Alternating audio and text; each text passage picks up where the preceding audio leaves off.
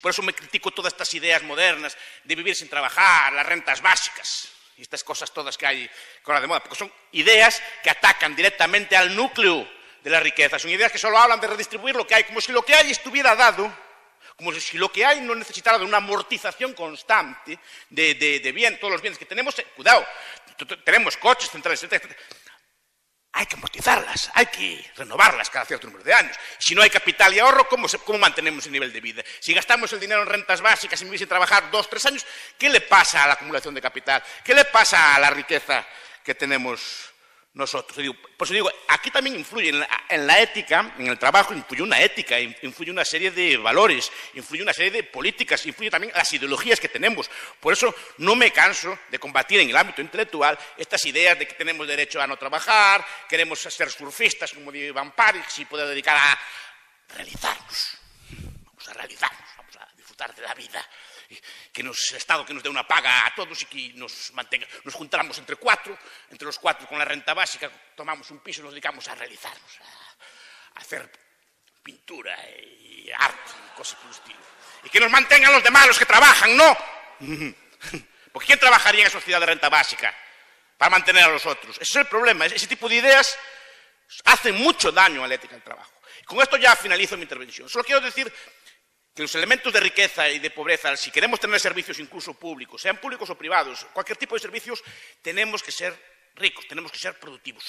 Una sociedad rica, una sanidad buena, unas carreteras buenas, una educación buena, repito, sea público o privada, sí que la pública puede ser buena en algún momento, pero bueno, hipotéticamente podría serlo. Solo puede ser en una sociedad que tenga los medios necesarios para mantenerla si atacamos los medios, atacamos los valores que nos hicieron ricos, volveremos otra vez a ser pobres, sin misericordia. Muchas gracias.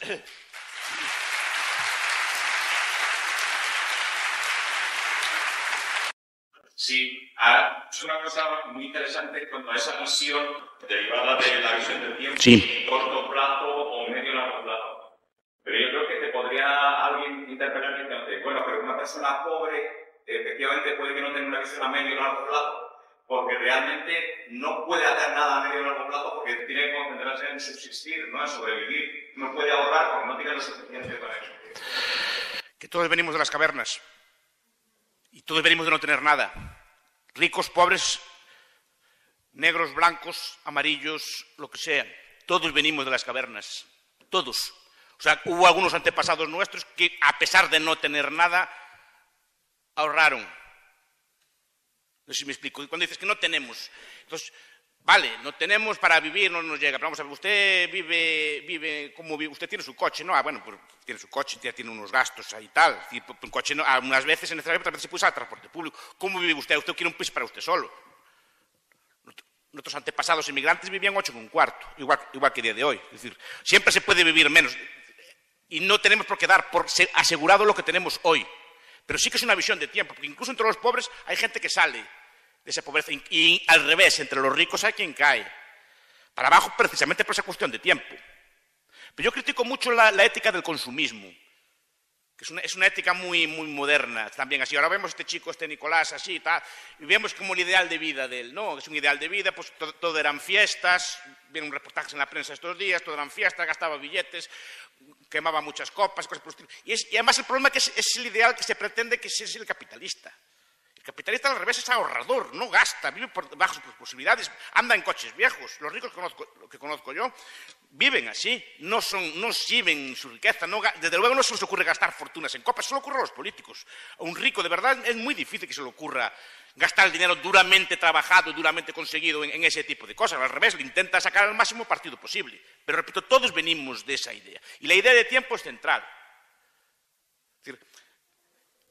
las clases populares, las clases bajas temporalmente, como le, como dice Banfield, no que sean bajas, pero que son bajas temporalmente, tienden a gratificarlos, tienden a gratificar el, tiempo a corto plazo. Por ejemplo, lo que, lo que estudia Oscar Luis o que, que, estudia Banfield es que los sectores más, más bajos, los, sectores más pobres, por ejemplo, no reprimen prácticamente nada a los, a los chiquillos, por ejemplo. Es decir, Quieren salir por la noche, salgan por la noche. Quieren tener relaciones sexuales a los 12 años, téngalas. Quiere beber, quiere beber beba. No me explico. No hay ningún tipo de represión. A, a, los valores de tiempo son imprescindibles. Las clases más altas temporalmente, que son después las que normalmente conducen a esto, reprimen el tiempo. Y dicen, mira, no, ahora no es el momento de beber, es el momento de estudiar, es el momento de, de aplicar, de aprender un oficio. Las relaciones sexuales ya las tendrás cuando seas más, más adulto, más mayor. No, hasta esas edades no se sale por la noche. Porque lo digo yo, no hay que explicar más. Si se entiende que el padre lo dice, me explico, no hay que explicarlo más. Ese tipo de valores son los que conducen al triunfo. El no reprimir el tiempo es lo que lleva al fracaso. Pero nuestros antepasados, algunos tuvo que haber que hicieran así, por pura regresión histórica, ¿no? Todos vivían del, del, mamut o lo que fuera. Unos comerían el mamut todo y otros guardarían el mamut o lo salarían. No sé si me explico. Para vivir el tiempo de futuro y con ese tipo de futuro poder emprender proyectos como agricultura, fomentar otro tipo de bienes y, otro tipo de cosas. Pero tú, por pura necesidad, todos descendemos de los mismos antepasados y todos empezamos de pobres. Eso es lo que hay que explicar, porque unos salieron y otros no. Pues algunos fueron capaces de decir, bueno, tengo este trozo de carne aquí, no lo voy a comer ahora. Lo voy a guardar para el futuro. Y ese, otro día, pues voy a, poder producir más, voy a poder producir en el invierno, voy a ser productivo en otros meses del año o en otros años. No sé si me explico. Pero tuvo que salir de algún instinto de alguna persona en ese aspecto. Pero tienen que ser combinadas las tres cosas. Si no, no vale unas cosas y las otras no valen tampoco. Por eso es tan complicado la riqueza y por eso la riqueza es tan escasa, históricamente. Porque es, difícil, no es intuitivo, lo, intuitivo, lo normal es comer lo que hay al momento. Eh, en principio es verdad que eh, es un buen predictor el hecho de que el niño pueda eh, resistir la tentación de comer un caramelo. A más tiempo aguante, probablemente tenga mejores salarios el día de mañana. No es un buen predictor de que si va a ser un buen emprendedor o no. No, no, no tiene que ver.